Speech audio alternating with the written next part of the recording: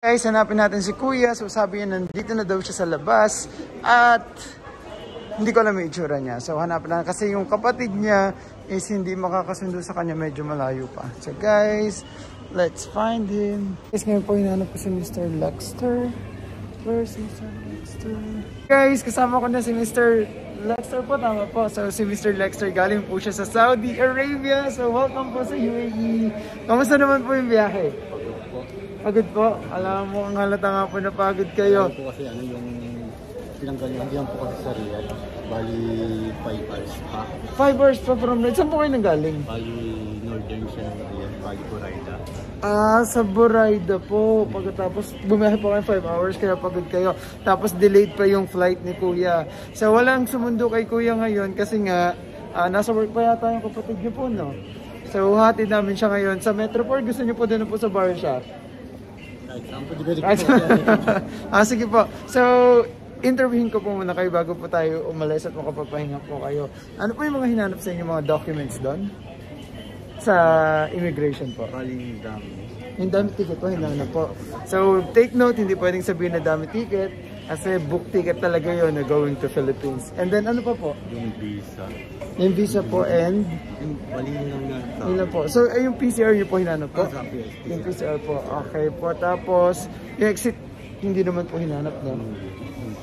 Ay, hindi na. So, sobrang dali po. Pero kinabahan kayo nung una. Ano din kasi, ano din kasi sa akin, yung sa Saudi, meron akong dinabayaran na sa internet ko. Ah, so may nakapangalan po sa internet at hindi nabayaran. Pero hindi naman po kayo nagka-case. Hindi naman. Hindi naman as of now. Kasi, pero hindi nyo po pinaputol? Hindi din mo kasi alam din na nakaano sa akin. Kasi Nakapangalan sa inyo? Check lang ako nung nakaraan. Yun na. Eh wala na rin ako pera. So, nakaalis na. So, guys, so, yun lang. Sobrang dali talaga, kuya, nung papunta dito, no? So, ngayon, natin natin si kuya. Sige, dun sa bar siya, mag-metro tayo. Pero meron po ba kayong dirhams? Meron, ah sige po, kasi kung wala, ay, ililibre ko sa akin. ah, so sige, so halika guys, punta tayo sa metro station. Together with Renz, si Renz po pala yung kasama ko po. So let's go! So pagod na pagod si Kuya. Tuturuan natin si Kuya kung paano bumili ng one-way ticket dito. So Kuya, touchscreen po yan, i-touch nyo lang po. Sige, touch nyo lang po. Tapos may makikita tayo dyang English. Sige, pick nyo lang po yung English. Tapos, ah no cards. Regular po. Ah, you should want- do you want tap up your no card? No. Ay, mali. So, nag-ask tayo ng help guys kasi may, meron talagang regular na no card kuya. Pero I think mas okay na bilhin na lang natin si kuya ng 25 para may 19 na load. Para, kasi gagamitin niyo po lagi yun eh. So sige kuya, dito tayo sa, pag ganun po, dito naman po tayo. Kasi kadalasan po yung one way lang po is, pwede po doon kaso 6 dirhams at 25 lang po yung ano. So kalagi niyo siyang gagamitin sa kami load na po siya. Okay, Q starts here. Let's go. Ah, kuya, bago po kasi siya dito sa Dubai. Galing Saudi. So, bibili po siya. na- Yes. from Saudi. So bibili po siya ng no card na gray. Silver card? Silver or silver VIP card po. Siyempre po yung ano lang po, bago lang po siya. Wag po agad VIP kasi mahal yung VIP. So kayo taga saan kayo sa Pinas? Batangas po. Uh, so ayun si Kuya, bubunot na ng mga dollars. 25 lang po pagkapos, may laman na siyang 19 dirhams. At Boss? Hindi ko pa kapatid. sige lang po, okay lang po yan. 25 po yan, tama. Departure other side. Check in, check out. Hindi pa po kami tayo mga Nalilito. Ako lang po nalilito pa sa pera. So kuya, ilang years po valid yung null card? Five years. O 5 years valid po yan. And then, kunyari po nilagay niyo po ng laman, pwede pong i-refund yun in case. Pero hindi nakapangalan po pala sa Emirates. Wala pa siyang Emirates ID so hindi pa pala no. Pwede yun sa Emirates mo. Sa Emirates ID ko po. O pag naka-Emirates ID na lang po. Sige po kuya, thank you po. Ano man niyo po? At Dondo na lang, Dondo. Don Don. Thank you kuya Don Don. Bye-bye. Sige po. Guys, kuya. You know card, itatap mo dito, pas makikita mo yung pinaka-load mo. So, syempre, papasok ka. So, welcome na welcome ka na sa Dubai. So, yung metro dito, isasakay na natin. Dahil papunta tayo sa Barsha, may center point kasi papunta din sa kabilang side. So, dito tayo sa platform number 2. Makikita nyo po dito yan. Ah, wait. Yan, may map po. Ang Barsha is Dubai Internet City. Ang Barsha po is dito sa Mall of the Emirates. So, dun po tayo, dun po po namin kayo dadalhin. So, going po siya sa platform number 2 yung side po dito. Okay? Sali ka kuya. Tada! Wala kayo kuya? Magpahinga kayo pag uwi nyo kasi syempre, ramdam ko yung pagod nyo eh. Buong araw yata kayo. Pero kamusta po dun sa employer nyo? Alam ba na employer mo na pupunta kayo dito? Oh, ah, hindi ba? Hindi na po. Hindi, bali may ticket din kayo pa uwi ng Pinas. Hindi bali, inano na lang po yun. Bali, parang, ah, convert ka lang sa cash. Ah, kinonvert sa cash. Ah. Kasi mahal nga naman yung mga ticket going to ano ngayon. So ayan kuya, makikita mo dito. Going to UX, so Expo 2020 or UX Exchange. Pag nakita mo yung pink na yon, hindi ka pwede doon. Pambabae yun. Ayan, nakita mo yung pink. For girls lang yan. Tapos, dyan lang tayo sa regular. Tapos sa dulo, may gold na nakalagay. So, pang gold lang yan. Yung kanina pinakita sa'yo na gold, yun sa VIP. lang pwede ko pa. So tayo dito tayo sa regular. Kasi pag hindi ka naka ano, pag pumunta ka dun sa babae, tinan mo to, pag pumunta ka dito kuya sa babae, may nakalagay dito na fine. May 100 dirhams fine. Pag dito ka sumakay, pagkapos lalaki ka. Ganon din sa gold. Pag pumunta ka dun sa gold, sumakay ka, magkaka-fine ka ng 100. So, sige kuya. And at least makakaupo tayo kasi konti lang yung tao. Hindi katulad sa Pinas. Siksik. so, sige kuya, pasok na po kayo.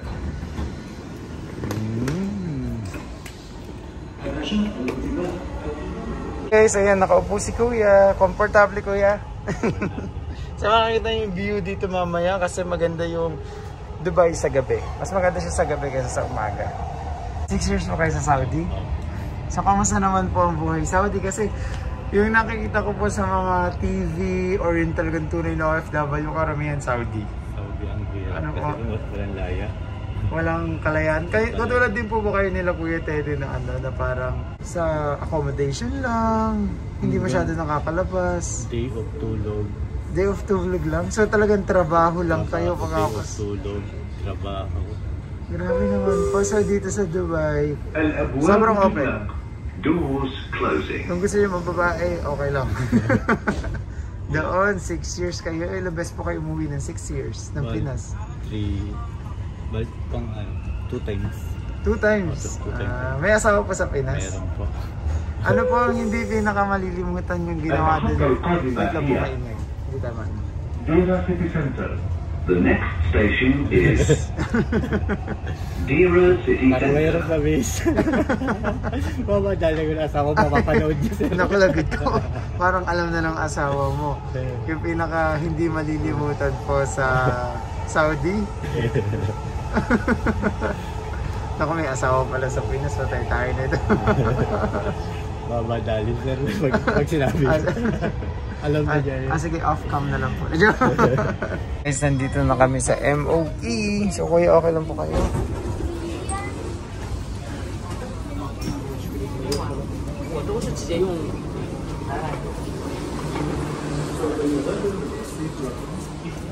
Your attention please.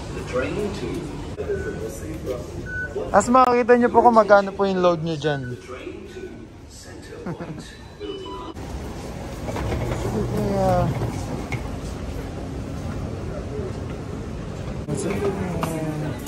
Kuya, okay ka pa? So, pagdating na pagdating, nag-mall agad. so guys, dito kasi yung way papunta dun sa kapatid niya. So, puntahan natin.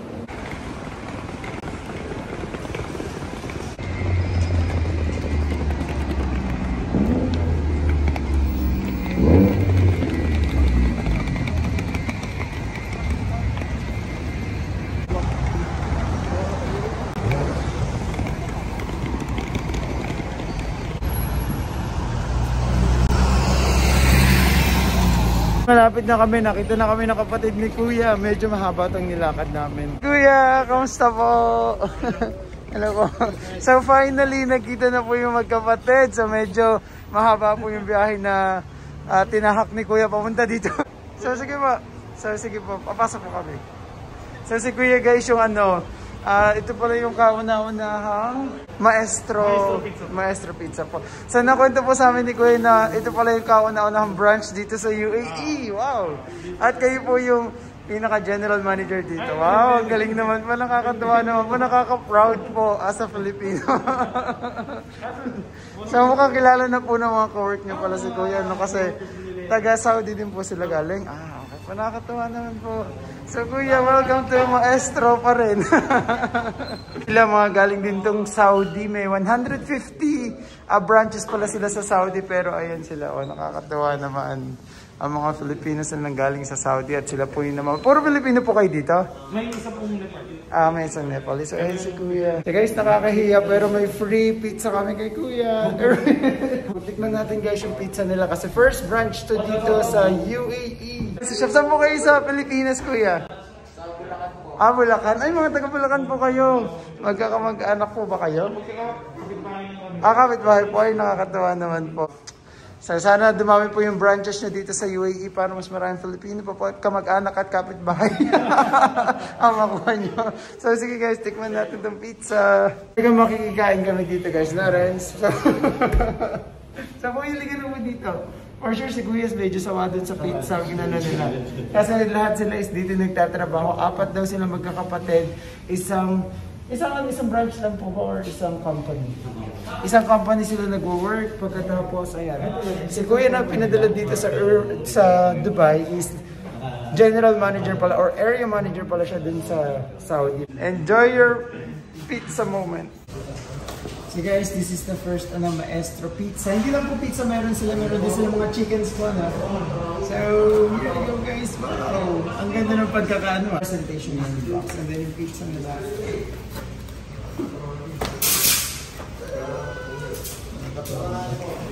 Pantuan-tuwa ako sa pizza guys. So, tikman natin yung pizza nila.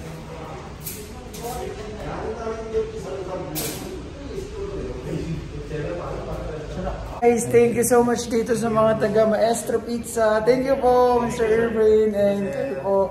So, enjoy po dito sa Dubai. Magpahinga po kayo ha. Sige po, thank you sa pizza and chicken. Thank you po. Thank you kuya. Sige po, bye-bye po.